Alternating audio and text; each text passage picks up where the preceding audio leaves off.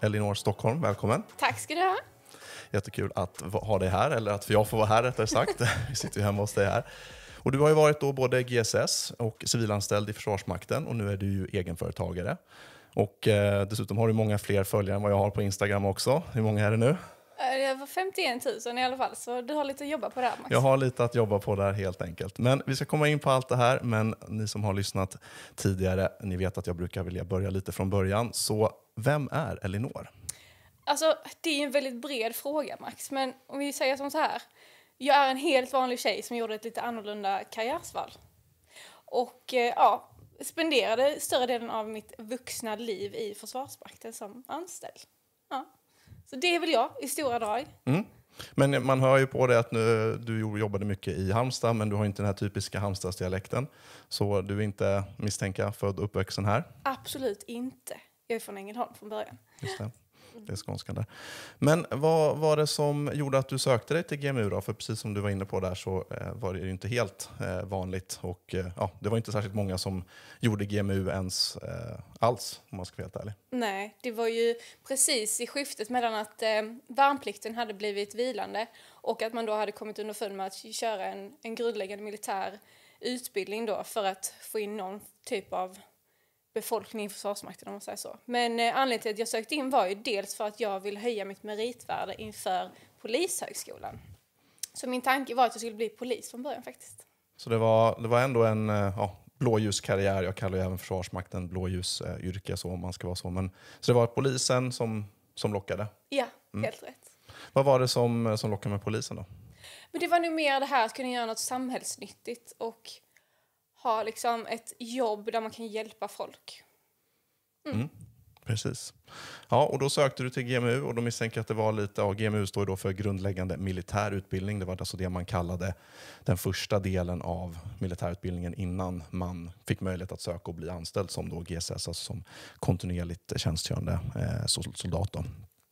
Eh, vad var det som, eh, när du var där, för det var ju fortfarande ja, Plikt och prövningsverket kanske det hette då, eller hette det vad hette det innan? Det hette något annat. Pliktverket tror jag det bara hette innan. Ja. ja. men det var tester där och så? Precis, det var ju mönstring precis som vanligt. Eh, och jag kommer ihåg att jag gjorde min mönstring i Kristianstad. Och eh, det gick hur bra som helst. Det var inget svårt alls. Och när jag sen kommer till eh, värnpliktshandläggaren, eller yrkesvägledaren, så kollar de ju mycket på vad man har för bakgrund, vad man har gått för typ av gymnasium och skola och så här. Och då hade jag ju gått gymnasieinriktning med teknik. Och då var det liksom givet att självklart är du som tjej med teknisk bakgrund att du ska jobba på FMTS i Halmstad. Och jag visste inte bättre, så jag bara absolut vi kör. Det låter mm. fräckt. För du, FMTS och Försvarsmaktens tekniska skola, där har man ju ja, man har massor med utbildning. Jag själv har varit där eh, och kört lite, ja, vad ska man säga, eh, JAS 39 teknikutbildning. Alltså de har, det är ett, vad ska man kalla det, ett kompetenscentrum för ja. teknik i Försvarsmakten. Ja. ja. Och, och, och, det du såg framför mig var kanske mer ut och kötta i skogen då? Självklart. Mm. Jag ville vara ute i fält, jag ville vara ute och öva strid, sjukvård, allt. Men eh, det var ju inte riktigt så det blev. Nej. Eh, men då hamnade du i Halmstad och inte så långt hemifrån. Vad, vad fick, man, fick man göra på FMTS? Då? Vad, var, vad, först, vad var din eh, befattning där? Då är det soldat GMU. Eh, befattningen var ju egentligen inte inriktad alls utan det var mer en grundläggande utbildning som sagt där alla skulle bli någon form av bra soldat i grund och botten. Eh, sen därefter, om man var godkänd på den grundläggande utbildningen så hade man ju då tre val att välja mellan om man då var anställningsbar. Och då var det antingen vapenmekaniker, Eh, robotmekaniker eller signalmekaniker. Och när jag då sen tackade ja till en anställning så hoppar man ju rakt in i eh, ett utbildningsvarv kan man säga. Där alla som då valde att ta anställningen gick grund markmekanik. Eh, och det här är ju en grundutbildning egentligen för alla former av mekaniker så det var mycket meka med bilar och sånt. Jag jag kunde precis byta däcken på min bil liksom, så det var ju utvecklingskurva 200 rakt upp för mig. Eh, men sen när vi var färdiga med den här markmekanikutbildningen då, då började vi också gå in mer på eh, just de specifika befattningarna vi skulle ha. Och i mitt fall var det då robotmekaniker. Så då var det jättemycket att jobba och lära sig med eh, alltså belysningsradar och räkna ut dopplereffekter och kolla på kretskort och Ja, mycket, mycket den stilen om man säger så. Och detta var ju då främst mot robotsystem 97 då. Och det är ju alltså robotar, inte som i, om det är någon som föreställer sig liksom en C3PO i Star Wars, utan robotar som i missiler då. Eh, så. Och, och Hawk är väl det systemet va? Ja, precis. exakt. Eh, Och det var ju ett, eh, ja, det är väl avvecklat nu skulle jag tippa på i alla fall. Man har ersatt det med eh, 103 då, alltså Patriot. Helt rätt. Men det var ju det medelräckviddiga luftvärnet som fanns. Jag har själv flugit faktiskt mot och övat lite eh, mot dem. Eh, jätteduktiga. Eh, men det är ganska gammalt. Det är ganska gammalt, ja. ja. Och det är ganska gammalt eh, sen jag var där också. Och detta är ju 2011, 2012, runt där. Så att, eh, ja. Men då fick man lära sig liksom hur, man, hur man servade och, och såg till att de här robotarna så att säga, var tipptopp. Ja, i princip. Som att lämna in en bil på service. Fast vi snackar ett luftvärnssystem, robotsystem. Vad, vad kan man säga om det då? Var det liksom, du hade ingen föreställning alls om, om, eh, om hur det här skulle kunna vara? Eller hur, vad kan man säga om en, jag, jag tror att många av oss, som jag själv och, och andra, kanske har svårt att föreställa sig liksom, vad, hur, vad gör man för att hålla en, en robot i liksom, chip shape, i, i service? Vad gör man? Liksom? Alltså, tekniska delar egentligen bara kolla så att allting klaffar och prata med varandra, att enheterna har kontakt. Och, alltså det är allt från som sagt byta små kretskort till att kolla eh, så kontakttag. Alltså det är, ja, teknikprylar helt enkelt, kort sett. Ja, men precis. Nej, men det, det kan man ju ta med sig här. Det är väldigt mycket jobb även att, så att säga, om man köper in ny ammunition, för idag pratas det om att vi ska köpa in mer ammunition, just erfarenheter från, från kriget i Ukraina, att man behöver ha Ja, man behöver ha ganska mycket och det går åt mycket ammunition. Eh, Alltifrån då eh, kulor och patroner till eh, luftvärnsrobotar och ja, för den delen jaktrobotar och så vidare. Och det är ganska mycket som krävs för att de här sakerna ska, liksom, när de väl skjuts iväg från flygplanet, för det första att de lämnar flygplanet, eller eh, marklavetten i det här fallet, då, eftersom det är luftvärn pratar om, till att de faktiskt ska ja, explodera där det är tänkt och få verkan i målet. Exakt. Ja, men spännande. Så det var, var det som du hade föreställt dig? Du hade tänkt att du skulle in och, och kötta i skogen, men det blev eh, robotverkstad istället? Ja, det var absolut inte det jag såg framför mig. Och, eh, ja, hur, vad ska man säga? Det är f- fantastiskt utvecklande och eh, alltså kunskapsgivande tid. Jag gick ju alla de här utbildningarna med godkänt resultat, men det resulterade sen också i att jag kände mig lite uttråkad om jag ska vara helt ärlig. Så att jag valde sen att byta befattning faktiskt. Och I det här fallet så jobbade jag ju för, jag var ju anställd av FMTS men jobbade åt LV6 som är luftvärnsregementet i Halmstad. Så att det var ganska enkelt för mig att, att byta över till LV6 då, i det här fallet. Eh, där jag sen började jobba med, eh, ja, nu tappade jag helt. Eh, ja, sambandssoldat, tror jag du skrev där som första. Eh, Jag har så många befattningar. Ja, ja men precis. Ja, men vi, vi kommer in på det. Och GMU, bara om vi backar bandet lite. GMU, är det, hur många månader var det? Var det tre månader? Det var tre månader bara. Ja. Det var kort. Och, och då var det, gällde att få eh, att bli godkänd så att man kunde söka som, eh, som anställd. Ja. Exakt. Så tänker jag värnplikten fast helt komprimerad på 90 dagar. Och så bli godkänd på det. Och då hade du möjlighet att sen kunna tacka ja till en anställning. Sen var det också många som, som inte var godkända som inte kunde få erbjudandet om att bli anställda. Och också många som tackade nej till en anställning. Och sen tackade då jag, jag tillsammans med några andra. Och vad var anledningen till att du inte gick till, eh, till polisutbildningen eller sökte in till polis eh, eh, och bytte över där? Vad var anledningen till att du tog liksom en, en anställning hos, i försvaret? Alltså jag kände att det här var fräckare, det var roligare. Om man nu ska vara helt så här. Och sen dels också för de människorna som du har jobbat ihop med eller gjort grundutbildningen med, du blir otroligt tajt med dem. Så då känner man att nej men vi, vi kör. Vi spinner vidare på det här i vår lilla grupp. Det här blir jättebra, det här blir jättekul. Plus att ha arbetslivserfarenhet från Försvarsmakten kommer ju aldrig bli fel, tänkte jag. Så att jag tänkte, ja men eh, Polishögskolan kan vänta i ett, två år. Notera ett, två år. Mm. Precis. Men det blev inte så. Nej. Nej, men spännande. För, för det tror jag är eh, en anledning till att Försvarsmakten också nu vill utöka värnplikten till ännu mer. Eh, Man pratar om 10 000 och, och eh, om jag ska göra en liten kort utvikning så man vill ju, det är ju ganska dyrt att utbilda värnpliktiga eh, och sen så har man ju ett visst antal år då man har eh, färdigheterna fortfarande färskt och då fyller man ju på krigsförbanden. Eh, Men anledningen till att man vill gärna utbilda kanske lite fler värnpliktiga än man behöver det är just att många människor som kommer in och gör lumpen eller någon form av militär verksamhet Många tänker att de bara ska göra det och sen så lämna, men det finns liksom en baktanke där tror jag från Försvarsmakten. Det är många som får upp ögonen och inser att det här, ja, men det här var ganska, Mm. det här kan jag tänka mig att fortsätta med. Mm. Och det är ju du också ett, ett exempel för. Och det, det, det tycker jag. Ja, men när man pratar med anställda i Försvarsmakten så är det ju ofta så. Man kommer in. Det är inte jättemånga som har bestämt från början att ja, men jag ska jobba med försvaret. Så. Nej. Ja, men spännande. Ja, men då, då robotmekaniker på, på 97 då på System Hawk, det var inte eh, kanske för dig då och då sökte du över till LV6 som eh, sambandssoldat har jag skrivit upp i alla fall. Vad, hur var den processen att byta över? Var det enkelt? Du nämnde det lite kort där. Men... Ja men den var faktiskt väldigt smidig. Jag har alltid haft bra kontakt med mina chefer. Så det var bara att du är rak och säger vad du vill. Eh, och de är ju glada, i det här fallet var de ju glada att behålla en så länge det gick liksom. För att eh, jag tror just då var det inte många tjejer som var inne i försvaret. Ehm, ja, jag tror jag var den enda, vi var två tjejer som gjorde GMU ihop. Den ena slutade och jag var den enda som var kvar. Så de, var väldigt måna om att ha kvar en på ett eller annat sätt. Eh, jag ska inte säga att det är för att jag är tjej, men det var för att jag var tjej tror jag. Ja. Ja, men någonting rätt har du väl ändå gjort, jag tänker om man blir erbjuden anställningen då, Ja. eh, såklart. Ehm, nej, men när du ändå nämnde det, hur, hur är det där? För det, det är ju det är en uttjatad fråga, jag vet att jag har haft eh, kollegor också. Och så fort det är en, en kvinna liksom i flygtjänst eller någonting så är det väldigt fokus. Eh, kommunikationsavdelningar vill gärna ha foton och allting. Hur är det att ha den, ja, vad ska man säga, ska man kalla det uppmärksamhet och liksom kanske mer punktmarkering? Hur är den liksom känslan? Hur hanterar man sånt? Alltså den är, du kan ju göra den bra, men vill du fokusera på det negativa så är den faktiskt ganska negativ. Eh, för att vara lite så flummigt svarat. Men eh, saken är den att om du gör bra ifrån dig så spelar det ingen roll hur bra du än kommer jobba. Så finns det alltid någon som stör sig lite grann på dig för att du är tjej. Och Så är det.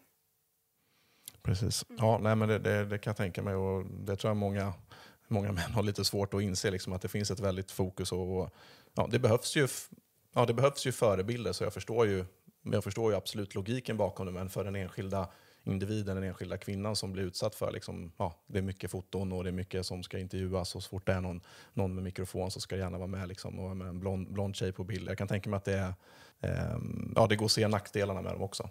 Självklart. Och alltså, utåt sett så tror jag det är jättebra rekryteringsvärde mot eh, övriga samhället. Men jag tror internt så är det nog väldigt, eh, jag tror folk stör sig mycket på det. Och just att eh, tjejer blir väldigt framhävda och upplyfta för att det ska synas. Medan det kanske finns killar som är dubbelt så bra som inte får den uppmärksamheten. Så jag, jag kan tänka mig att det kan vara lite avundsjuka, lite att någon trampar en på tårna kanske och att, ja, lite revir, eh, ja, jag vet inte riktigt. Men jag har bara positiva uppfattning, alltså erfarenheter av detta. Mm. Måste jag ändå säga. Mest det positiva, faktiskt. Ja. Jag tänker mig också att det blir väl hur man väljer att se det som du var inne på det också. Att man, Om man vill se det dåliga med det så ser man säkert det dåliga med det och vill man se det bra så, så ser man det som bra. Men det är ju, det är ju marknadskrafter. Försvarsmakten vill ju öka andelen eh, kvinnor i Försvarsmakten trots att vi har värnplikten nu så jag läste någon siffra för åtminstone om det var ett eller två år sedan. Så trots att det är en könsneutral värnplikt så plockar man ändå bara ut ungefär 20% kvinnor. Trots att man har tillgång till egentligen då alla kvinnor som blir i ålderskategorin så lyckas man ändå inte, trots att man verkligen vill, ta ut mer än 20 procent. Det är ju, ja det får man väl ändå säga var underkänt om man nu har som ambition att det ska vara eh, ganska så lika. Eh, så. Sen måste man också tänka på att det ska vara rätt person, Mm. inte kön. Nej. Så att man, ja, rätt man på rätt plats, om man nu får lov att Mm.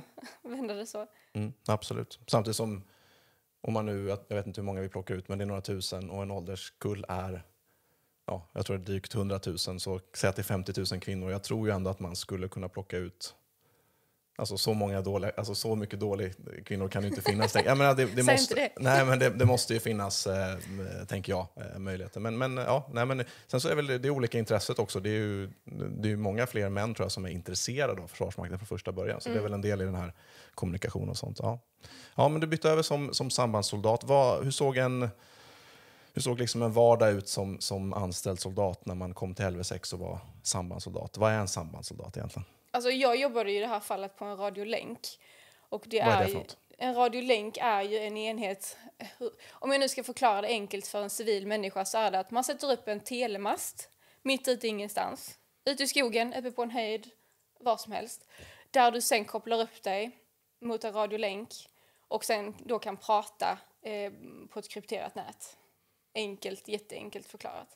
Så Telia sätter upp en mast så att du kan prata i telefon. Fast vi gör detta inom försvaret. Ja. Så att försvaret vill ju ha eh, eget samband. Man vill liksom inte vara beroende utav bara, man använder ju civila också, men man vill inte vara beroende av att bara använda eh, civila system såklart. Och det fattar väl folk tror jag. ja, det tror jag. Och, och vad, vad, så det var att upprätta och, och hålla de här radiolänkmasterna igång eller upprätta nya, eller vad var, vad var uppgiften där? Ja, alltså upprätta, skydda, omgruppera. Upprätta, skydda, omgruppera. Det var det man gjorde. Och då jobbar man tre personer på en sån här enhet. Eh, och jag tyckte det var ganska mysigt faktiskt. Det var trevligt. Vi fick vara ute i skogen jättemycket. Vi hade mycket strid. Mycket... Eh, alltså I och med att vi är vårt eget närskydd också så blir det väldigt... Eh, att man, man övar mycket påskjutning och att snabbt eh, omgruppera, packa ihop och... Alltså ja, det var, det var tider det. ja, jättekul. Då var det lite mer av det här ja, gröntjänst som du hade sett framför dig. nu. Exakt, det var ju lite mer det jag var ute efter. Jag var inte riktigt klar med den delen från, eh, från grundutbildningen kände jag. Så där fick jag lite grann det och eh, träffa nya kamrater och lära känna ny pluton och nytt kompani. Och just om vi nu ska jämföra verksamheter så att befattningen som robotmekaniker gentemot att jobba på en pluton, det var ju natt och dag. Jag kom ju från att jobba i en liten grupp där vi satt med officerare och utbildade oss och liksom var med i deras verksamhet som var väldigt eh, som ett vanligt kontorsjobb nästan. Till att gå till den här att vara på en pluton, man hade uppställning varje morgon och det skulle ut och övas och det skulle ut och springa så det skulle vara till, fysas tillsammans och man var på skjutbanan. Alltså den här dagliga verksamheten som soldat som, eh, som skulle rulla på. Och det, det trivdes jag jättebra med. Så det var verkligen skillnad på de befattningarna. Och det är ju någonting som, just det som du nämner, det finns ju inte så mycket sånt i det civila. Just man, eftersom man inte gör den typen av saker tillsammans så ofta på andra på arbetsplatser. Det kanske är ett hockeylag, kanske man gör det. Men, men, eh, ja, men just den här kamratskapen är ju, det tror jag alla som har gjort lumpen eller jobbat i Försvarsmakten, det är det man, eh, ja, nej, men det är väl liksom en av de absolut största ja, uppsidorna om vi ska kalla det så. Mm, 100 procent. Och det, det är ju spännande just med, med upprätta och förflytta och allt det här. Just, det är ju eh, högvärdiga mål för eh, specialförband, fina specialförband, att slå ut de här eh, sakerna. För kan inte luftvärnet då i det här fallet prata med, med stridsledningen, eh, det vill säga att man har krypterat samband, då är det väldigt svårt för luftvärnet att liksom få eldtillstånd också. Alltså att det, allting hänger ihop där. Vi pratar om det ofta på podden just med, med flyget och luftförsvaret. Så tänker man ofta att ja, det är ett flygplan med en pilot liksom där ute. Men det är så otroligt mycket. Alltifrån då folk som ska serva och fixa att eh, robotarna funkar till att luftvärnssystemen faktiskt måste kunna prata med... Men det, det, det hänger ihop så mycket. Det är så otroligt, sväller så otroligt mycket så det behövs mycket mycket duktigt folk. Ja, men du nämnde lite där om, om den eh, dagliga verksamheten. Så det var uppställningar, så, så ganska likt kanske som man föreställer sig i lumpen då, var anställd soldat. Ja, faktiskt. Fast eh, du var liksom anställd. Så det var mer, hur ska man säga, alltså, du, under värnplikt så är det ju väldigt mycket att du, eh, du är ju inte anställd så du behandlas ju inte som en anställd heller. Här är det ju som att eh, vilket annat jobb som helst, bara det att det är lite mer ordning och reda, om man säger så. Ehm, man har bra kommunikation och bra relation med sina närmsta chefer. Och, ja, men, man hejar på varandra i fikarummet och snackar skit. Och det är inte den här rekryt slash soldat slash instruktör utan det är verkligen, här jobbar vi tillsammans. Det gör man oavsett men på ett anställt sätt om man nu ska säga det så. Mm. Ja, för här är ju tanken att eh, soldaterna då, till skillnad från de värnpliktiga, ska vara kvar. Eh, man, tänk, man pratade ju om liksom 6-12 år någonting. Ja, Ja, så att det blir en annan, kan tänka mig en annan dimension där. absolut. absolut. Och hur, då var ni organiserade, alltså klassiskt militärt eh, maner med, med grupper och plutoner och, och kompani. Eh, var det GSS, alltså soldater, som ledde grupperna eller var det specialistofficer? Hur såg det ut lite så generellt? Eh, Just när jag jobbade med, med samband så var det ju att vi hade en gruppchef per enhet. Eh, och så här, då, hade vi ju, då var vi ju tre stycken på en enhet. Så då var det en gruppchef, en Steff och en soldat. Eh, så att jag var soldat, sen hade jag då Steffen och sen en gruppchef. Men om vi ser till normalt sett generellt då är det ju oftast åtta personer i en grupp och har en gruppchef. Men det är lite annorlunda när du jobbar på en enhet där det är tre personer per enhet. Just det. Ja. ja, spännande. Men sen så bytte du över och blev, om jag har fått rätt på ditt CV här nu, så stabsassistent också på LV6 då. Mm. Mm. Och varför gjorde du det bytet? Eller var det någon som gjorde det bytet åt dig? Nej, alltså i det här fallet blev jag faktiskt tillfrågad. Och jag är sån, har jag gjort en sak och kan det. Eh, om vi ser till den militära verksamheten så är det ju samma övning, oftast under samma period, samma år. Det, är liksom, det går i cykler. Det är, du, du kan det utan till efter ett tag. Eh, och jag känner väl lite grann att nej, nu kan jag det här. Jag kan det här med radiolänk. Så att, eh, vad roligt med en ny utmaning. Det är klart jag ska göra det. Mm. Och eh, det ger mig också mycket djupare inblick i hur en bataljon funkar. Så att jag kände bara absolut, nu kör vi. Så stabsas. Mm. Och var hamnar du någonstans då? För det kan jag tänka mig finns på, alltså staber finns ju på alla nivåer från liksom pluton hela vägen upp till eh, ja, division idag, då, alltså ovanför Mm. brigad. Här hamnar jag på G3 och detta är väl, eh, alltså nu tappar jag det helt. Stabs... Eh, är bataljonens stab. ja, Ja. ja, precis. Tre funktioner, det är ju som NATO, man delar in från 1 till 9 tror jag det är. Eh, också, börjar tappa det där. Men eh, tre är väl genomförande, alltså det är Ja. de som håller på med, Helt med ja, det korta perspektivet. Mm. Man säger kanske 0 till, nu vet jag inte om det är 24 timmar eller 48 timmar eller 72 timmar. Men det, man, man är väldigt mycket på ja, här och nu och det som precis ska genomföras snart. Mm. Mm. Precis. Så jag hade ju hand om eh, utländska chefsbesök och eh, ja, boka in middagar för dem och aktiviteter. Och det var allt från att sitta och planera eh, så flygvapenövning för LV6 eh, räkning, liksom sitta med på de mötena och se till så att alla stabsmedlemmar hade ja, men logi när vi skulle iväg på övningar, boka upp det, boka upp bilar. Eh, mycket eh, lite, alltså logistiklösning för, eh, för stabsmedlemmar helt enkelt. Så lite spindeln i nätet då på, på bataljonen kan man väl säga. Då. Ja, Och hur, hur, var det, hur var det som jobb? För då, då har vi lämnat kanske ut och grisa i skogen, eh, åtminstone till del. japp. Mm. Nej, men det var fantastiskt. Det, det var ju lyxjobb liksom. Fick man ju sitta med, med de högsta hönsen på bataljonen och hade jättestor inblick i vad som hände och det var jättespännande. Så att, ja, det gillar jag. Och det var ju också väldigt så här, du var ju inte ute i skogen. Alltså var jag ute på övning, då hade jag ju ett hotellrum. alltså så var det ju. Det var lite likt flygvapnet om ord. Ja, ja men så var det ju. Så det var nice. Ja, men ofta så just eh, om man vill ha koll på vad som händer egentligen så istället för att fråga offentligt kan man ju gå in och fråga lite stabsassar och sånt. De har oftast Exakt. väldigt, väldigt bra koll på, koll på snacket. på vad som händer. Ja, och hur länge var du, eh, var du på, på trefunktionen där på, på staben? Oj, alltså kanske ett, två år. Ett, två år. För sen så fick jag ju dubbelbefattning och gick över som eh, någon form av stödassistent gentemot eh, en värnpliktskompani som hade öppnat upp då. Så jag pendlar lite grann mellan att vara stabsas på G3 och hjälpa till på eh, en utbildningsenhet helt enkelt. Ehm, ja, vad kan det ha varit? Två år, tre Mm. år? Och då är vi framme på mitten på, på 2010-talet någonstans.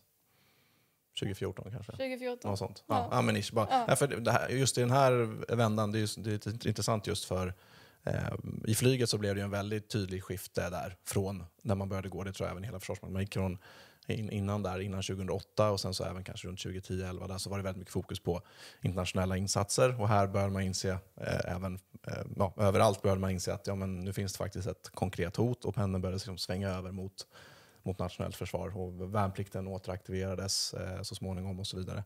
Eh, så då fick du stötta som, eh, som instruktör då på, på utbildningsenheten kanske? det då? Inte Nej. inledningsvis, men eh, efterhand så blev det ju så. Mm. Och det var jätteroligt jobb. Alltså fantastiskt roligt jobb. Och jobba med rekryter. Mm. Det, det rekommenderar jag alla som är kvar i Försvarsmakten som inte har gjort det än att göra. För det är, ja, det är roligt. Varför är det roligt? Nej, men tänk er själva när de här små ungdomarna kommer in och de är så rädda och de har ju kollat alldeles för mycket på amerikanska filmer och tror att alla ska stå och skrika på dem, vilket man ibland kanske gör. Men de är, alltså det, de är så formbara och man bara... Oh de vet inte vad som ska vänta dem. Det är fantastiskt roligt. Och sen kunna få vara med i deras utvecklingskurva. För den skjuter i höjden liksom. Tänk dig att oftast är de här 18-19 år. De har aldrig gjort någonting utan mamma och pappa. Och så kommer de till oss. Och där kan vi forma dem. Ja, men alltså det är ju, man tycker kanske att man är ganska så vuxen där när man har slutat gymnasiet precis, men, men man, som 18-19-åring är man ju inte man är ju inte jättevuxen, särskilt inte som ung kille. Man är ju liksom inte ens färdigutvecklad i hjärnan. Så, men, men vad, vad, så du var med liksom hela vägen från då inryck, hämta ut sin utrustning och sen så uppställningar och allt det här, hela vägen till eh, att de var liksom muckade då? Mm. Mm. Jajamän. Mm. Och eh, jag har ju varit instruktör eh, alltså som, eh, alltså som riktig värnpliktsinstruktör Eh, nu vet jag inte vilket år vi är inne på. Jag ber om ursäkt att jag inte riktigt har koll. Nej, men, eh, men i det här fallet nu, om vi snackar direkt efter G3-tiden, så, så var ju jag stödassistent, alltså adjutant nästan kan man ju säga i det här fallet. Och sen så för att då senare skede gå in som värnpliktsinstruktör. Eh, och då är man ju mycket mer med rekryterna. Då är det verkligen alltså, exorcis, vi är på skjutbanan, vi genomför sjukvårdsutbildningar, alltså allt. Och det är där det roligaste är. Mm. Ja. Och det här var värnpliktiga som skulle till LV6 eller även till andra förband och så, eller hur såg det ut där? Det här var i syfte för att behålla personal till LV6. Mm. Mm. mm.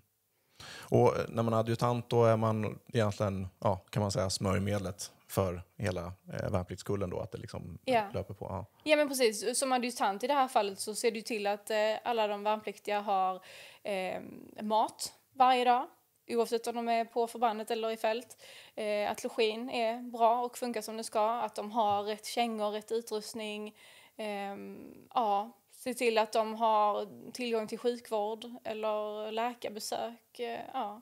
Alltså allting som inte rör utbildningen utan rör eh, rekryternas ehm, eh, leverne och alltså levnadsstandard kan man nästan säga. Var det, var det enkelt att, att liksom hålla dem eller var det brist på kängor och sånt här eh, i den här var, tiden också? Det var brist. Mm. Det var brist.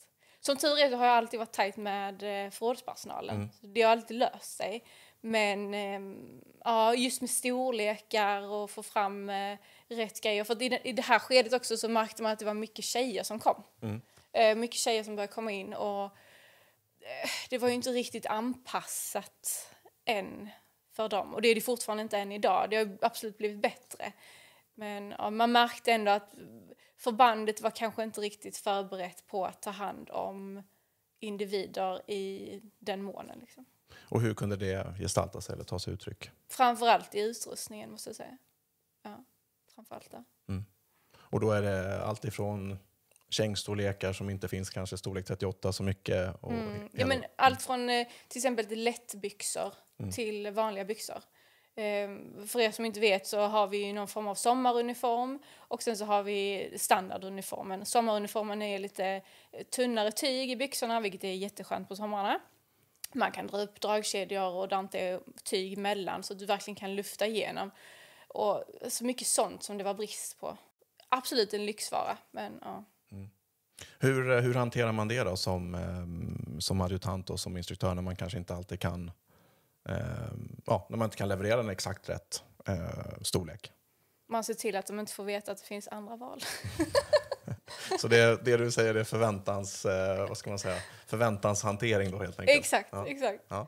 Nej, men det där är, det kan man skratta åt, men det tror jag är det är nog ganska viktigt liksom, ur ett psykologiskt perspektiv att man, att man eh, inte över, överlovar och sen så underlevererar utan man hellre ja, håller förväntningarna på en bra nivå. Det är ju ur ett ledarskapsperspektiv också. Eh, man satt med, och det är ju ett sånt arbetsgivartrick, men, men själv suttit som chef och eh, man pratar om liksom lönerevisionsprocesser och allting. Går man ut och berättar för de anställda hur bra allting kommer vara och sen så kan man liksom inte riktigt leverera på det. Det är ju, nej, det är ju inte bra. Då, då, det är ett väldigt enkelt sätt att sabba sitt eh, ledarskapskapital där.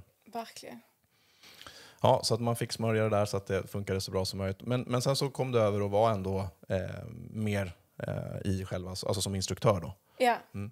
Men det är väldigt mycket man ska ha koll på, det kanske man inte tänker på heller, men det är allt ifrån som du var inne på med, med skytte till sjukvård till eh, förläggningstjänst, eh, ja, eh, ut och marschera, allting. Mm. Hur håller man sig själv liksom ajour med allt det här när man har gått från kanske, har suttit ett tag som stabsassistent och som utbildningsadjutant när man kanske inte är ute och gör det här varje dag själv? Alltså här är ju ett glapp någonstans för att jag går tillbaka och börjar jobba som eh, alltså logistiksoldat. Mm. Eh, och eh, där blir jag ju ammunitions och packningssoldat kallar vi det för på LV6 då. Men då var det liksom utbildningar. Du gick utbildningar hela, hela tiden. Det var ju det verksamheten gick ut på. Så att när jag gick till jobbet 8 till 5 Då var jag egentligen på utbildning hela dagen. I flera veckor. Så att här var det också mycket, ja men man tar lastbilskörkort, man eh, får ADR, man lär sig hur eh, tankbilen funkar och hur du ska fixa den.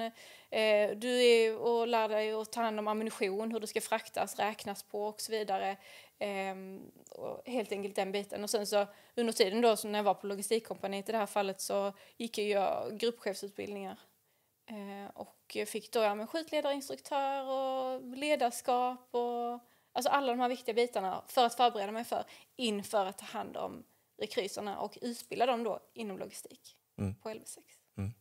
Och vad tar du med dig från, från ledarskapskurserna och sånt där? Vad, mm, hade, du har väl sett både bra och dåligt ledarskap kan jag tänka mig. Oh ja. ja.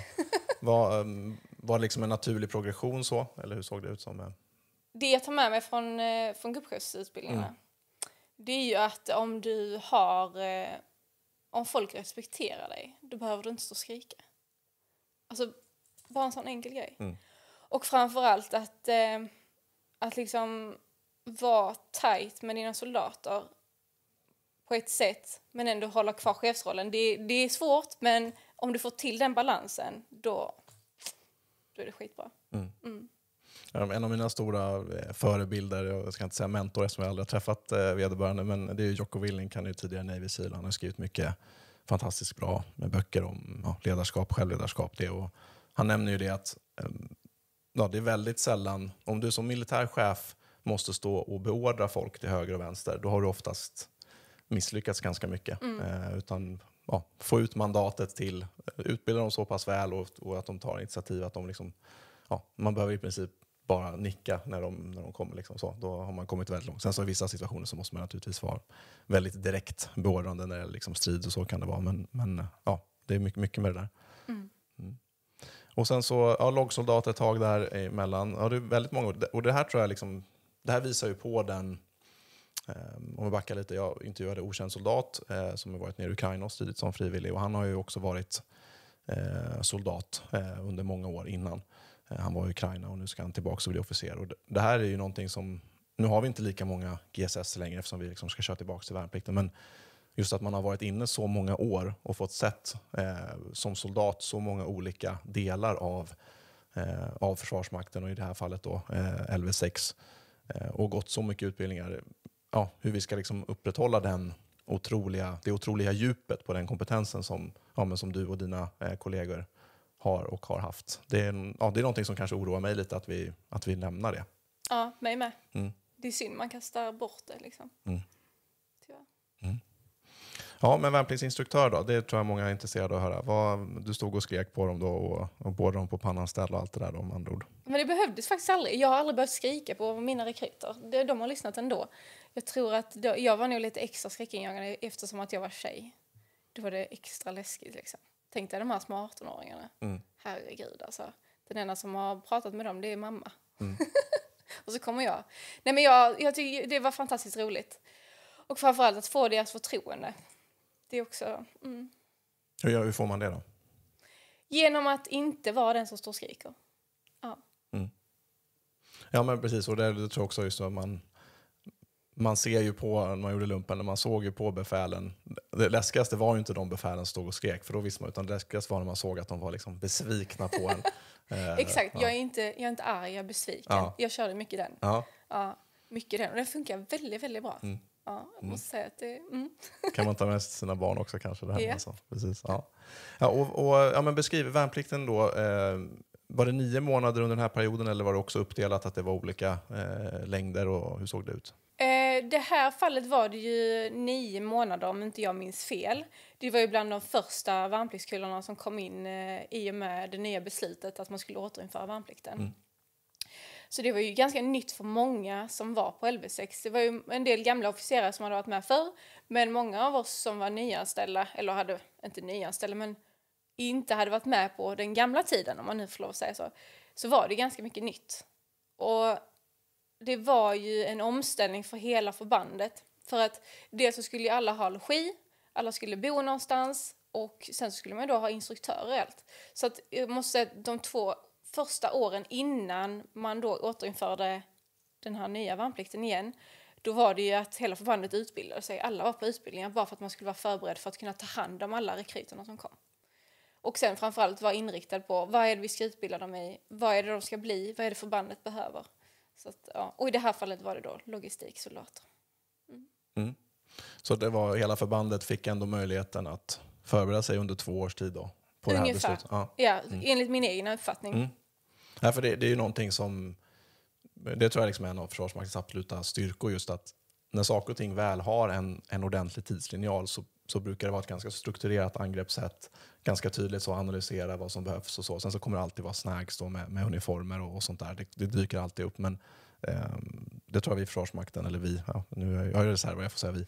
Eh, nej, men det är man ganska duktig på när man väl har en tydlig uppgift med en tydlig tidslinjal. Så. Ja. Mm.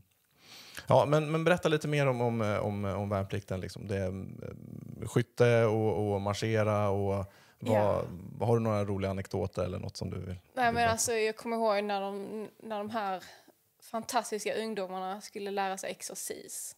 Jag tror det var bara den första veckan. Du liksom, nu ska ni lära er stå och gå. That's it. Och eh, alltså, sy, tänk synen av att du ska lära dem att gå i takt. Det var ju fantastiskt roligt. Det, det, en sån enkel grej liksom. Eh, så att, ja, det var, mm, det var kul. Många var ju frustrerade för att få in eh, att inte eh, vet att armarna och benen går eh, i fel håll med, med takten och sådär. Men eh, det var väldigt roligt och just att se hur de började anpassa sig till den militära verksamheten. De började prata annorlunda och ja, jag kommer också ihåg att i början när de rycker in så tar man ju en bild. Så att vi har liksom ett porträtt på dem och sen så håller de i sin namnskylt. Lite grann som en sån, eh, vad heter det, mugshot. Mm, mm. och sen så tar man en likadan mugshot i slutet av utbildningen. Och då ser man verkligen, de har alltså förändrats så otroligt mycket. Inte bara mindset utan också utseendemässigt. Det är helt sjukt vad utbildningen gör. Men hur som helst, eh, ja, mycket exercis var det i början, jätteroligt. Och när de skulle vara på skjutbanan för första gången. Oj, oj, oj, oj. Det är Bambi på hal is alltså. Mm. Det var mycket eh, nervositet kan jag tänka mig. Ja, jätterädda. Många har ju aldrig skjutit förr. Och jätterädda och liksom rädda för ljuden och hur ska de hålla och ja. ja det, jag kan inte peka ut en specifik grej utan det är bara hela mm. upplevelsen. Mm. Hur, hur coachar man då i det där? För där, där det pratar mycket under flygutbildningen just att när man är i en situation som till exempel flygutbildning där det är Eh, det här kan jag tänka mig också då för de här människorna när man, man ska hålla sitt vapen första gången. Att det är, en, det är en situation med ganska högt stresspåslag i grunden. Om man då som instruktör går in och lägger på ännu mer press och stress så ja, tenderar att då, då sjunker liksom outputen och inlärningsförmågan. Hur hanterar man, man sånt där? Liksom är det, ja, det här lugna metodiska som vanligt och enklare, eller hur, hur hanterar man sånt? Hej på er, Max Willman här. Och behöver du eller ditt företag min hjälp att komma vidare och låsa upp nästa nivå, ja, då ska ni klicka på länken nere i beskrivningen och boka ett kostnadsfritt strategimöte med mig där vi ser om det är en bra matchning för oss att arbeta med varandra. Men nu ska vi tillbaka till videon, så tills dess, fly safe. Torröva, mm. först och främst. Gör dig bekant med utrustningen. Vad är torröva för något? Torröva det är ju liksom, i det här fallet om vi ska åka till skjutbanan, då får ju rekryterna ut sina vapen, de får plocka isär, plocka ihop, vi förklarar hur delarna funkar, de får liksom stå och öva, hålla, vi övar på skjutställningar, eh, de får vara med på skjutbanan men inte skjuta, vänja sig vid ljudet. Ehm, och sen så därefter så lägger man på steg för steg helt enkelt. Så väldigt lugnt, väldigt metodiskt. Eh, och specifikt då i och med när man då ska faktiskt avfyra ett skott, att man då tar dem en och en. Man har torrövat mycket innan. Och att de får ta den tiden de behöver på sig. Man har instruktörer som står nära, håller dem på axeln och jättekontrollerat genomför den här övningen. Så det är någonting som alla kan klara av med mm. rätt stöd utan problem. Men har man, har man så mycket instruktörer just att man har den här möjligheten att, att vara där så närvarande i alla, i alla de här eh, utbildningsstegen? För jag tänker det suger mycket eh, lärare, alltså instruktörer, när man ska vara så punktmarkerad hela tiden. Precis, och det gör det. Jag, mm. vet, jag kan inte svara för hur det ser ut i dagsläget, men, men i och med att förbandet hade så pass mycket tid att förbereda sig så var det också stort fokus på att utbilda alla anställda soldater så att alla kunde stötta upp med ja, men den här utbildningen helt enkelt. Det är därför jag blev skjutledare till exempel.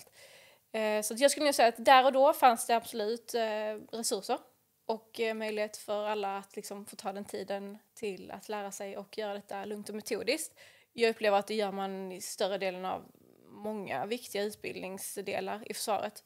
Men hur det ser ut idag, det kan jag tyvärr inte svara på. Nej, nej men det, det är självklart det är svårt att, att, att rapportera sig in där. nej, men det där tror jag är viktigt för det är ju det gäller liksom all typ av erfarenheter när man ska lära sig något nytt. Om man får att det, att det blir en för negativ bild, då kan det bli en låsning som hänger med sig ja. eh, under lång tid. Och mm, just när det gäller värnpliktsutbildning så ibland så man, blir man ju, eh, kan tänka i alla fall, tillbakahållen lite av de som är så att säga, sämst, om vi ska kalla det så, i mm. respektive. Mm. Man kan inte gå för långt fram för då hänger inte de... Ja, eh, och det har inget, inget om människovärde att, göra så. Och alla har ju olika saker man är bra och dålig på såklart. Men, men eh, man vill ju ändå få upp alla till en ganska hög lägstanivå kan jag tänka mig. Ja, mm. och det gör man ju. Mm. Alltså man, man löser ju det. Det gör man. Alla ska lösa det. Alla ska, vad, vad händer med de som kanske inte löser olika situationer? De får man helt enkelt ta åt sidan och så får man lägga mer fokus på dem. Mm.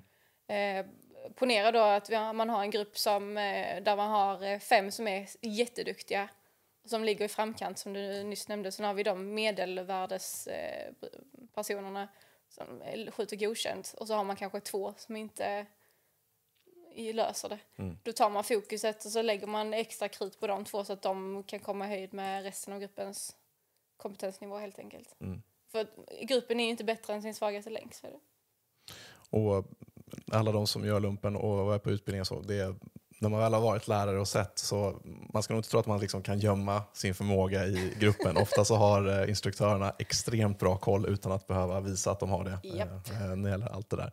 Så det där behöver man inte eh, den. Men hur var det liksom, mentalt? Var det några som inte klarade av utbildningen av de här värnpliktiga eller hur, eh, hur såg det ut där? Alltså, större delen klarar ju av det men sen är det ju många som kommer dit och mår lite dåligt. Helt ärligt talat. Det är många som kanske har problem hemma eller har någon gammal skada som de har mörkat vid mönstringen mm. som gör sig lite påmind efter att man har kört språngmarsch. Um, så att, ja, absolut. Det faller alltid bort folk på, på utbildningar. Men jag måste ändå säga att större delen löser det. Med många om och men. Mm. Sen har vi alltid stjärnskotten som man ser att okej, okay, du, du ska vi ha kvar, absolut. Mm. Ja. Mm. Och det har varit mycket prat om just den fysiska statusen hos, eh, ja, hos många av de som mönstrar idag. Man pratar om liksom att det är mycket tv-spel, stillasittande och att man är, man är generellt sett sämre förberedd. Man har varit ute i naturen mindre, man kan inte hantera en kniv och alla de här grejerna. Vad, hur, hur såg det ut eh, när du var instruktör med, med de där bitarna? Ja men alltså framför allt med den fysiska biten att många var sjukt dåligt tränade. Mm. Eh, och att vara bra tränad, det finns ju många olika synsätt på det, men här gäller det att vara alltså, mångsidig i sin träning. Så vi hade ju liksom killar som hade kört all in på gymmet och var jättestarka, men de klarade inte löpningen. Och sen hade vi de som hade lagt allt fokus på löpning innan de kom och var jättebra på långdistans men löste absolut inte att liksom lyfta sin egen vikt eller, ja men säg i det här fallet multitestet, att göra armhävningar eller göra räckhäng. Så att de som var tränade var tränade på fel sätt och sen så var en jättestor massa som bara hade glidit igenom på ren vilja, om jag nu får lov att säga det som så. Mm. Och här blir det också väldigt tydligt att när man då kör igång med fystester som man gör inledningsvis och sen sporadiskt under hela utbildningssträckans gång så ser man också att oj, här har vi missat någonting. De är för dåligt informerade om ja, men hur de ska träna inför en värnplikt. Mm. Ja. Och vad... Ja, men hur, hur, hur kommer det sig? Liksom? Jag tänker alltså, det är ju, eh, för liksom inget ont om, om LV6, men det är ju inte några elitkrav på, eh, på soldater. Ja, det är väl ganska så kan jag tänka mig eh, normala krav. På, ja, ja, det måste jag faktiskt säga. Mm det är inte så här att du måste vara elitidrottare för att klara av det där mm. överhuvudtaget. Men jag tror också just det är att eh, min personliga uppfattning är att man kanske inte informerar folk kring hur pass väl de bör träna innan. Just för att undvika skador framförallt. Mm. För, för det, det, som, det som är väldigt nytt det är ju någonting, alltså kängor, att man går i kängor dygnet runt från att gå liksom i gympaskor antagligen som de flesta gör, alltså sneakers. Och, Mm. eh, bära packning är också någonting som man kanske inte är så van vid om man inte har ett friluftsintresse innan. Eh, så det blir ju det blir ju en ny stress på kroppen samtidigt som det är naturligtvis är massor med information, massor med ny utbildning som man ska hinna med. Så det kanske inte alltid man har tid att återhämta heller. Eh, Nej. Hur hanterade ni det, det där under själva utbildningen? Då? Alltså, ja, det var ju... Det, ja, om jag ser det ur ett fysansvarighetsperspektiv så var det ju inte jättemycket lösning på det hela. Utan det var ju verkligen, okej, du har ont i dina benhinnor idag, okej, vila, du har ont i ryggen, gå till sjukan, eh, du är förkyld, vila. Alltså det fanns ju egentligen inte någon bra lösning på det hela, utan det var mer bara försöka lösa det så gott det gick där och då. Eh, sen hade vi ju såklart, och det kommer alltid finnas, de rekryterna som alltid mådde lite dåligt eller som alltid var lite sjuka. Och, och ja, du, du får ju inte godkänt i slutet då. Mm. Alltså närvaron är jätteviktig. Och då kan du vara på hos sjukan eller säga att du har ont i benhinnorna hur mycket som helst. Du kommer inte få godkänt. Så att det... Ja, jag har ingen riktigt bra svar på den frågan faktiskt. Utan det var bara göra det så gott man kunde med det man hade och de resurserna man hade. Var det tillfällen då ni fick skala tillbaks tempot i utbildningen för att eh, folk skulle liksom hålla ihop? Eller? Nej. Nej, inte vad jag kan tänka på här och nu. Det som var var väl att alla fick ju medverka så gott de kunde, helt enkelt göra det man kunde. Sen var det ju inte en jättefysisk utbildning eh, så, så att jag kan inte jämföra LV6 med K3 till exempel. Det går liksom inte. Men eh, vissa grupper blir såklart mindre från time to time. Liksom. Mm. På grund av att folk mygla eller Mm. hade ont eller var på rehab helt enkelt. Hur var motivationen på, för här var det ju precis som idag, det är ganska få procent av en ålderskull som tas ut. Var det hög motivation på de som kom eh, och hur såg det liksom ut under, under själva värnpliktsutbildningen? Om- Alltså med upp och nedgångar och sånt. Jo, men motivationen var nog bra, skulle jag nog säga. Ur mitt eget perspektiv. Jag kände ändå att folk var taggade för att vara där. Hur det ser ut i dagsläget, så när mina sista år i försvaret, då var det mycket att det var många som var där, men som kanske egentligen inte... De visste inte riktigt vad de hade gett sig in på, om man säger så. Eh, men inledningsvis så tyckte jag ändå att det var, ja, folk var där och de ville göra detta med godkänt resultat och liksom kunna säga att jag har gjort värnplikt. Vad tar du med dig liksom, hur, som växer som person? Jag kan tänka mig just att, att ehm, det är i alla fall någonting som jag tar med mig som när jag var instruktör och, och lärare. Man, man tvingar ju sig själv att, att läsa på och bli bättre och taggar till. Alltså man lär sig mycket som lärare också. Mm. Vad, vad tar du med dig som, som värnpliktsinstruktör? Så? Att vara extremt tydlig och att inte anta att folk fattar vad man menar. Hur gör man det då? Genom att vara extremt tydlig. Är det repetition och läsa tillbaka här klassiska saker? Eller? Skala av och bara lägg fram det viktigaste. Mm. Inte massa floskler runt omkring. Bara, istället för att säga eh, imorgon så ska vi eh, packa våra väskor och sen så ska vi ta oss till eh, det här övningsfältet och sen så är det ju lunch klockan eh, 12, 11.30 och sen eh, bort med det. Imorgon 07.30, det här ska med, uppställa, vi ses där. Alltså en sån grej. Tydlighet, skala av. Mm. Ja. Jag kan lätt sväva iväg. Nej, men det tror jag många, många känner igen sig att man vill vara, man kanske vill vara lite mer tjenis också. Men, men eh, tydlighet kan ju skapa trygghet i många fall också. Exakt. Mm. Så det tar jag med mig. Mm. Ja, nej, men spännande. Jag sitter och tänker, jag föreläser ju mycket med eh, ja, ledarskapsföreläsningar, inspirationsföreläsningar och ledarskapsutbildningar. Och, eh, något som jag stöter på mycket är ju att många chefer idag eh, är lite rädda för att vara tydliga för man vill inte verka som någon som är liksom, liksom tyrannisk eller vad man ska säga. Eh, och och den, den här otydligheten hos chefen skapar otrygghet hos de anställda. Japp. Eh, Så man kan vara, i alla fall min tes, och jag tror att det är många som håller med om det, att man kan vara väldigt tydlig men samtidigt vara väldigt omtänksam och, och vilja väl. Eh, Det finns liksom inget motsatsförhållande eh, kring det. Nej. Och sen upplever jag också att i, i den civila världen nu som jag befinner mig i Mm. så är det fruktansvärt obehagligt för folk om man är tydlig. Mm. De, alltså folk klarar inte av det. Så snabbt man är rak och koncis då tolkas det lika med som att man är hård Mm. och kall. Så det är lite så här, ja. Mm. Men det behövs mer av det, kan jag ändå känna.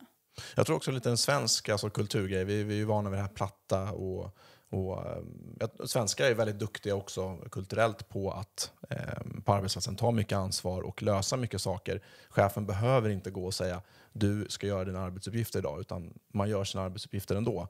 Eh, eh, och, och till och med liksom på ett väldigt bra sätt och går liksom, eh, above and beyond. Men, men eh, ma- ja, det är, jag tror det är många som, som är, mår dåligt av den här otydligheten. Vad är det som förväntas av mig som anställd egentligen? Och det, det blir nästan lite så, ja, Maslows behovspyramid är en sån klassisk eh, modell som försvaret älskar att använda. Och, och det blir en otrygghet där när man, när man är lite osäker på, när chefen inte är tydlig, vad är det egentligen som förväntas av mig? Ligger jag, levererar jag det som förväntas just nu eller inte? För oftast blir det så att det blir ingenting, ingen återkoppling alls. Ehm, Men som sagt, man får väl, man får väl hitta en, en lagom nivå att göra den här återkopplingen med som inte upplevs som, som kall. Då. Ja. Ja, spännande. Och sen eh, gruppchefskursen hade du redan hunnit med innan där, men jag tror det gick någon, någon, mer, någon mer gruppchefskurs efter det här, va? Någon steg två och så. Precis, LV6 har ju, jag vet inte hur det är på andra förband, men LV6 införde ju att man skulle gå gruppchefskurs steg ett och sen så var det då steg två för de som skulle bli, i det här fallet då, sergeanter. Sen har ju eh, gradsystemet ändrats under tiden. Eh, så att jag, vet, jag var sergeant ett tag och sen så blev jag överfurir eh, i och med nya gradsystemet då. Så att ja, absolut. Två, två gruppchefsutbildningar. Ja, furir är väl eh, så, ja, över furir då. Det är väl så högt man kan komma som... Soldat. Ja, mm, just det.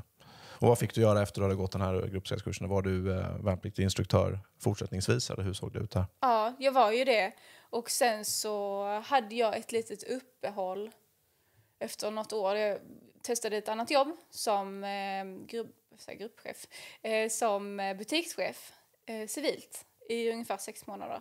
Och sen eh, hade jag en bekant till mig som hade börjat jobba som stabsassistent på FMTS på ett värnpliktskompani. Det var faktiskt FMTS första värnpliktskompani.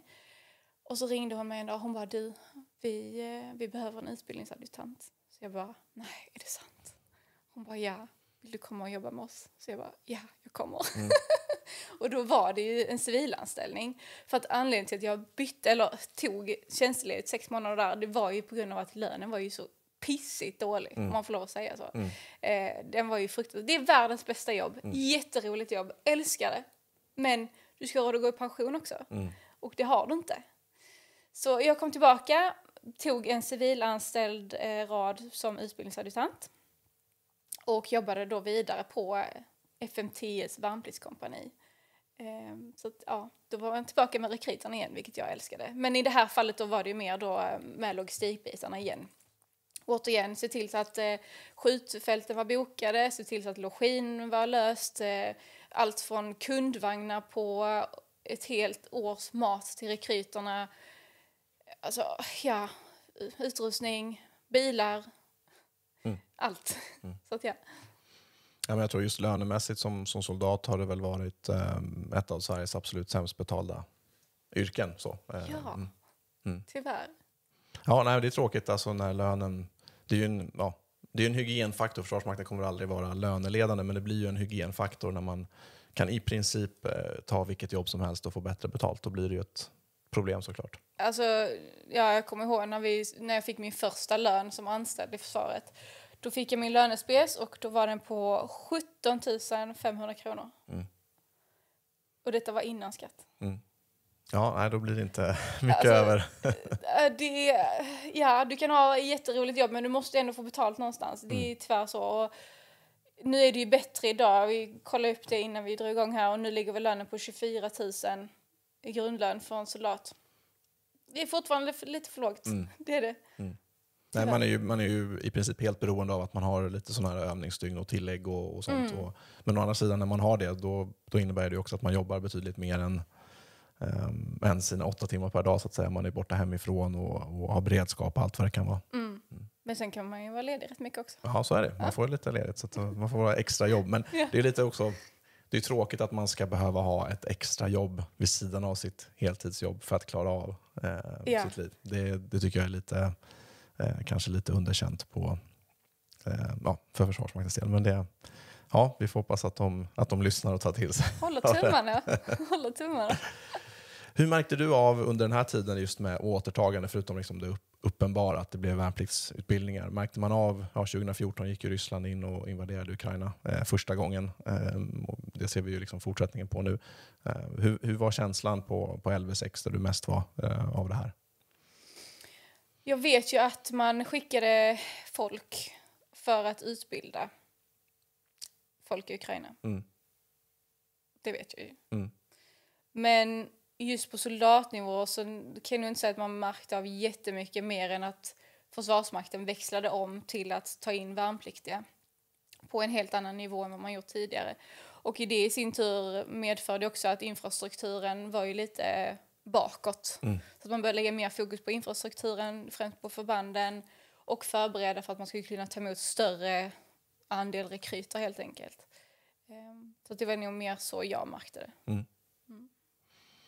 Och under den här perioden så, eh, du har ju varit med i, eh, apropå det här med, med kvinna och, och, och ja, eh, reklam och allting, du har den här berömda bilden, den här berömda kampanjen som ju har delat sociala medier, ja, Twitter tänker jag då framförallt, eller X som det heter idag. Den här Kom som du är-kampanjen. och du var med på, på en bild där, eller säkert flera bilder, men den som jag tänker på i alla fall. Hur var reaktionen på det? Var det någonting du som fick du återkoppling på den? Eh, ja, det har jag fått. Mm. Eh, främst väldigt positiv, jätteroligt. Det är ju många som man har jobbat med under åren som bara, ah men eh, vad fan Stockholm blir du? Jag såg det på tunnelbanan i Stockholm. Man bara, ja men där hänger jag. Mm. Liksom, det var jätteroligt. Men sen också om man ser till, eh, till den civila sidan så var det ju en shitstorm, om mm. man får lov att säga så. Det var ju många som anklagar Försvarsmakten för att ha hyrt in modeller bara för att det skulle locka till sig unga män till att vara med i Försvarsmakten och gå med och göra värnplikt och så här. Och det är väl lite... Ja, det är väl en komplimang. Det är en komplimang, men ändå att det blev någonting lite negativt. Så mm. Men, eh, nej, men det var roligt, det var jätteroligt. Men eh, man fick ju verkligen ögonen på sig, om man säger så.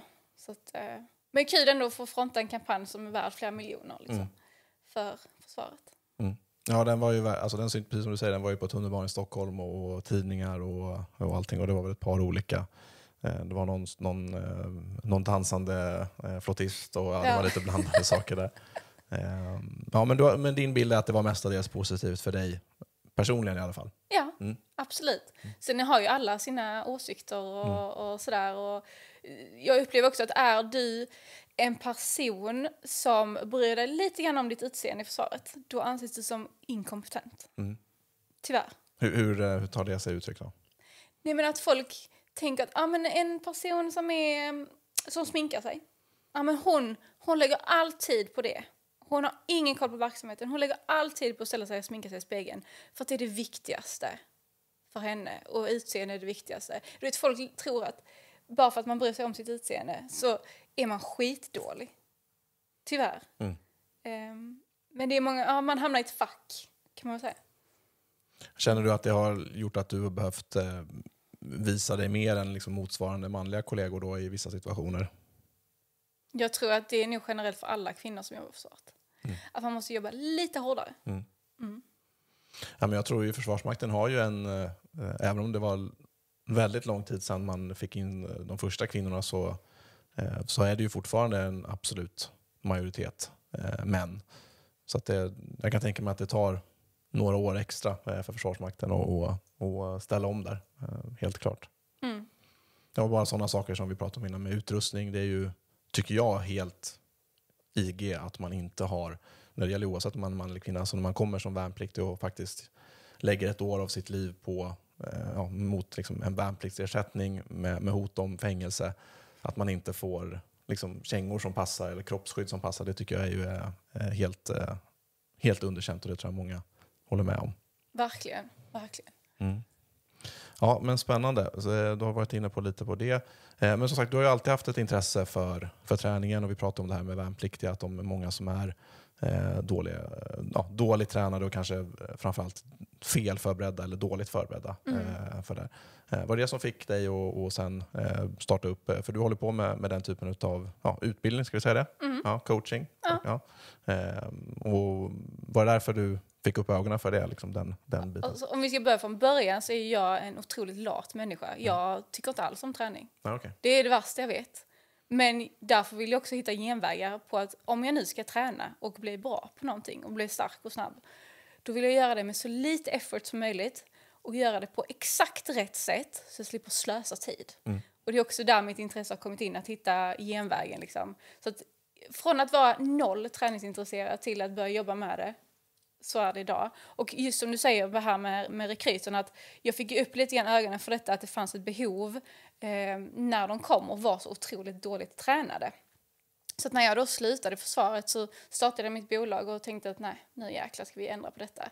Så jag inriktade mig främst på att coacha eh, folk som skulle in i uniformsyrken eller som hade någon form av fyskrav på sig inför sina jobb. Att coacha dem i rätt form och se till så att de klarar av de här eh, kraven helt enkelt. Det i sin tur sen utvecklade sig till att jag nu coachar framförallt kvinnor till att få en bättre livsstil och träna och äta bra och liksom ha funktionella, starka kroppar. Vad- hur kan man, eh, om vi börjar med det då, med, med hur man har en funktionell, eh, stark kropp. Som sagt, det är ju inte bara alla som, som har ett intresse för yrken där det finns fyskrav. Men hur, hur, eh, ja, vad finns det för genvägar då, om vi börjar där? Äta rätt, Vad är det då? A och O. Det är ju att du äter dina makros utefter det målet som du har. Makros är ju fördelningen mellan protein, kolhydrater och fett. Så vill du lyfta mer, bli starkare, ja då får du lägga om kosten efter det målet. Och sen därefter träningen.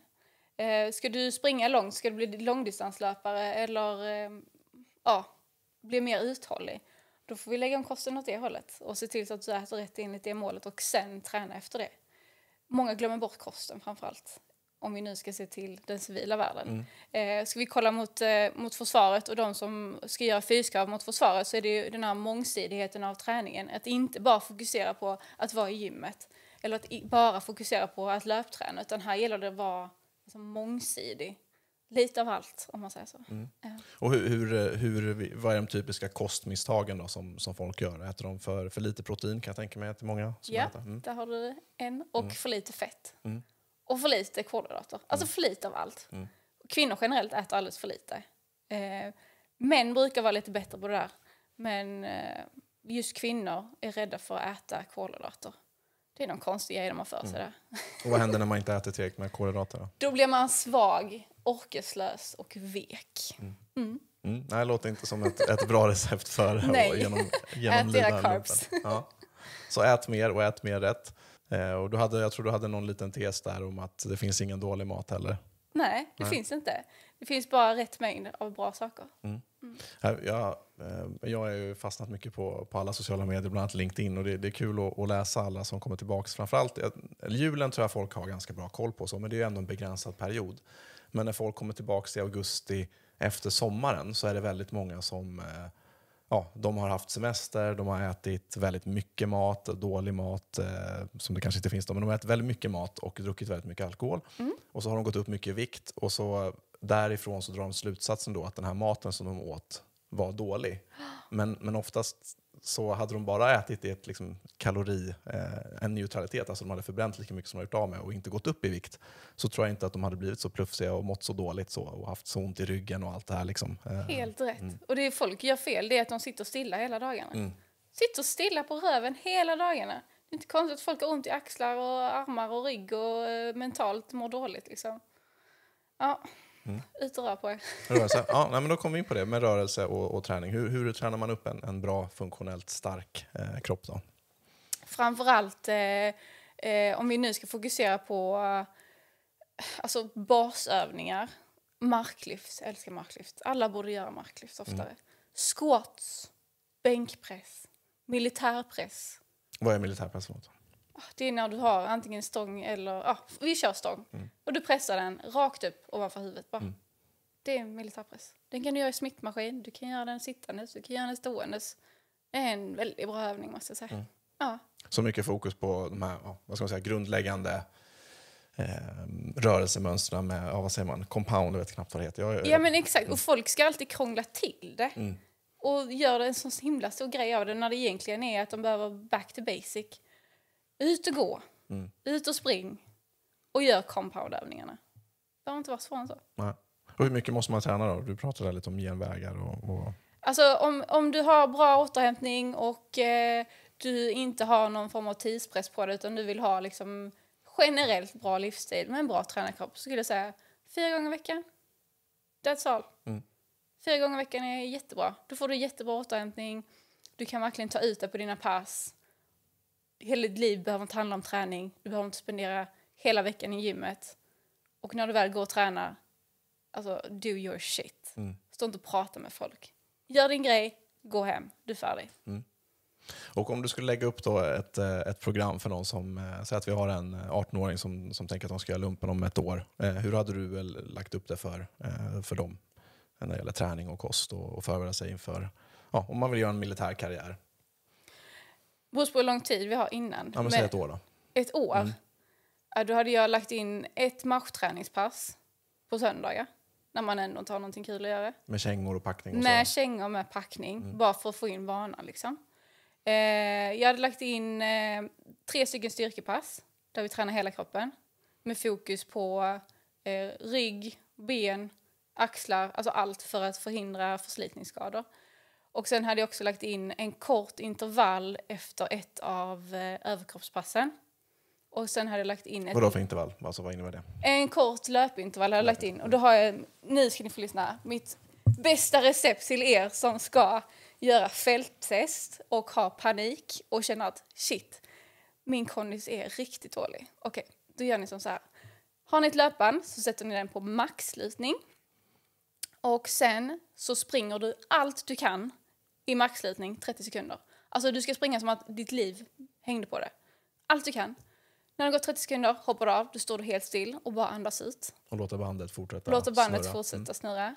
På igen 30 sekunder. Detta gör du 10-15 minuter. Två gånger i veckan. Alltså din kondis kommer bli så mycket bättre. Intervaller är guld. Mm. Guld för att öka konditionen snabbt. Ehm, så den ska ni ta med er och testa. Den är jättebra.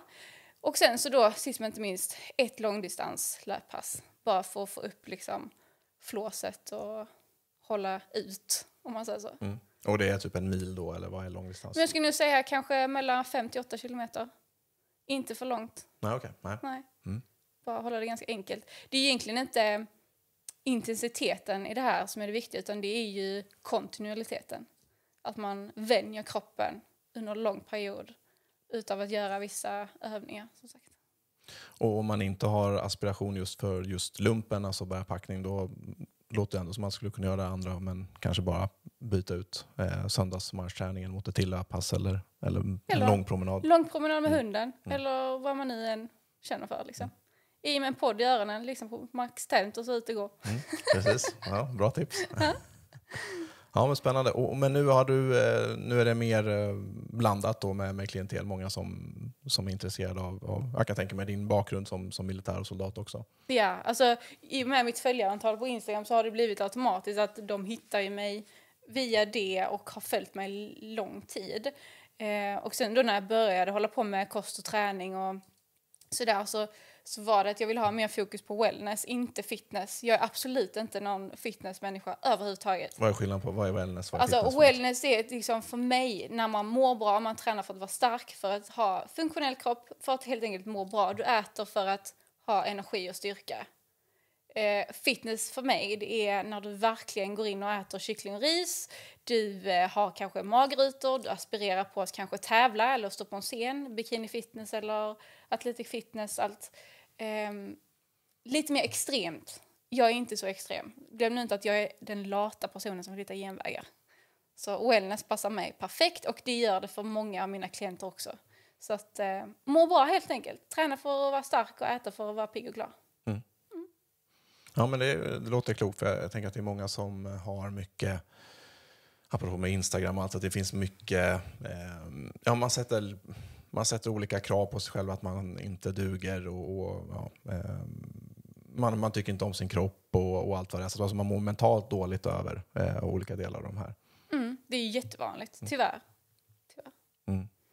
Ja, men äh, jättespännande. Och, ja, men det är kul för jag har ju också, äh, nu är inte jag inne på, på, på wellness så, äh, men, men, men ledarskap och allting, det är ju, och min YouTube-kanal och det här, det är ju också det man har lärt sig i, i det militära. Liksom. Det finns så många bra, finns så många bra saker att ta med sig, ehm, helt klart. Och, ja, och du har ju hittat ett, pro, en, ett problem, ehm, att folk inte är tillräckligt tränade för, för det och sen har det blivit liksom ett eget, det är fantastiskt att man kan, att man kan göra så.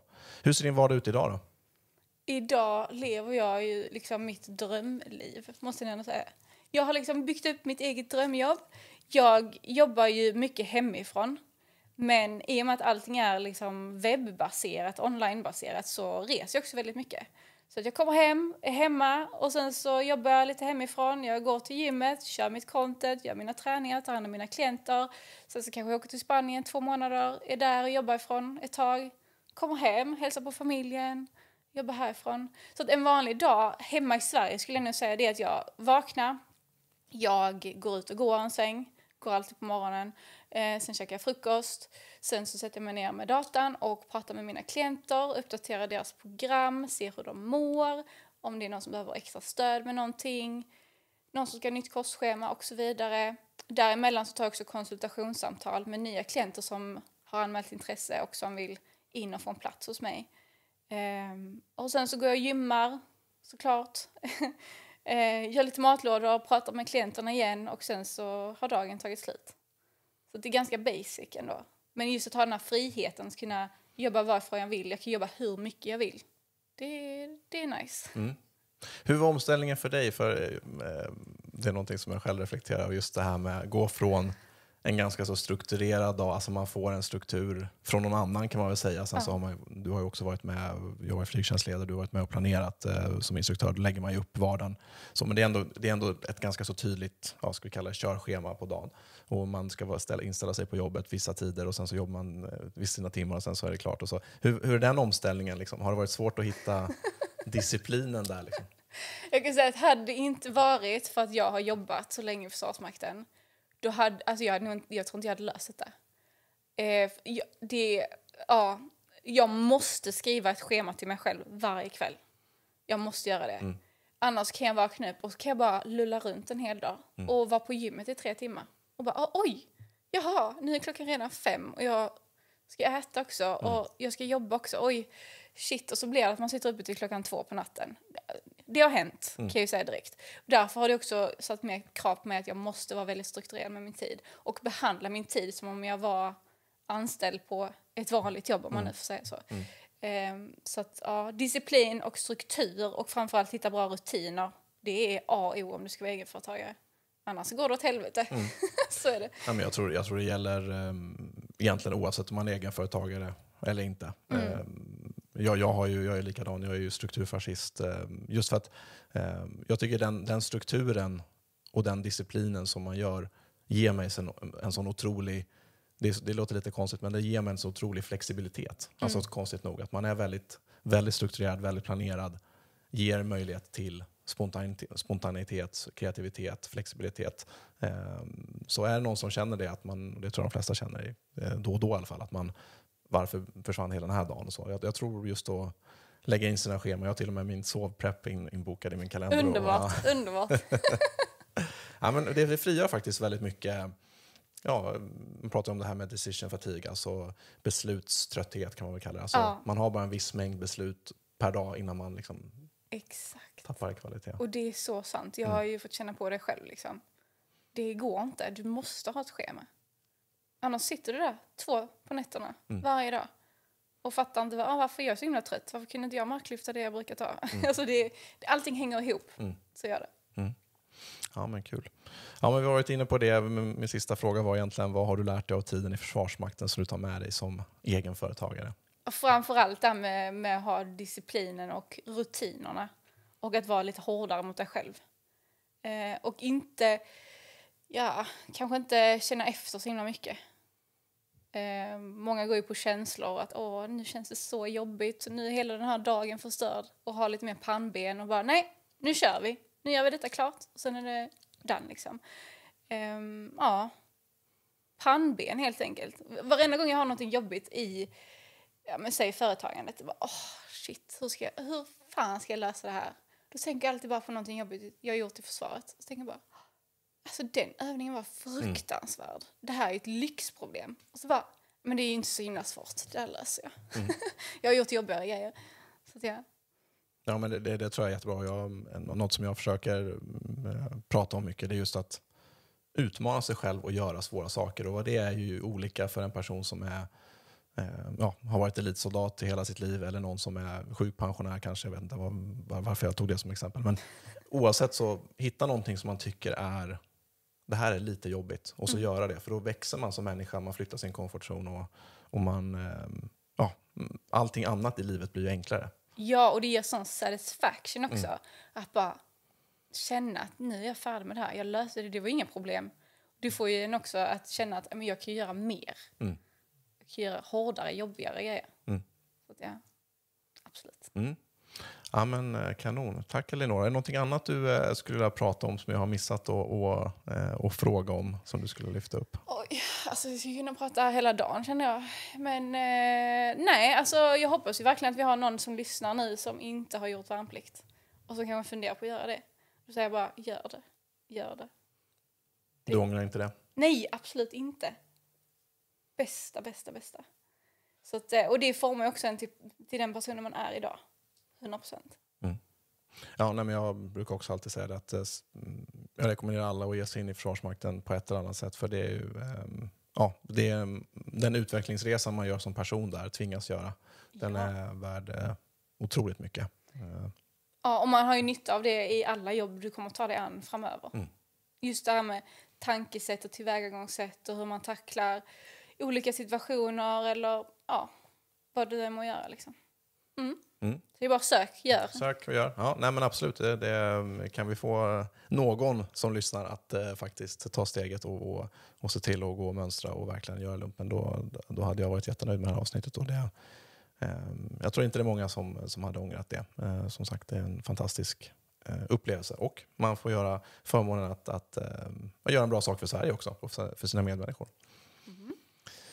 Men då börjar vi runda av där. Tack så mycket Elinor och hjälp oss gärna att, eh, eh, genom att lämna ett bra betyg på Spotify Apple Podcast. Gilla videon om ni tittar på Youtube. Eh, skriv gärna i kommentarsfältet. Och när ni har lämnat de där fem stjärnorna i betyg så dela som sagt gärna avsnittet med någon som ni tror kan ha nytta av det. Kanske har ni någon eh, 18-åring som går på gymnasiet som behöver lyssna på det här eh, och ta tipset. Allt det här hjälper ju oss att nå ut till eh, fler människor. Och Det finns många sätt om ni vill stödja podden och eh, det som jag gör på Youtube. Ni kan köpa mig en kaffe eller bli månadsgivare. Och Det finns lite eh, merch på 9xg.se om ni vill ha lite häftiga t-shirts. Länkar till det i beskrivningen. Och vill du komma i form och coachas av en tidigare krigsman så kolla in Elinors olika program på coachstokholm.se och då är det Stokholm utan CK, så att inte som Stockholm utan Stockholm. coachstokholm.se. Och avslutningsvis, våra tankar går till alla de som hjälper oss att få leva ett liv i frihet, ett liv som vi själva väljer.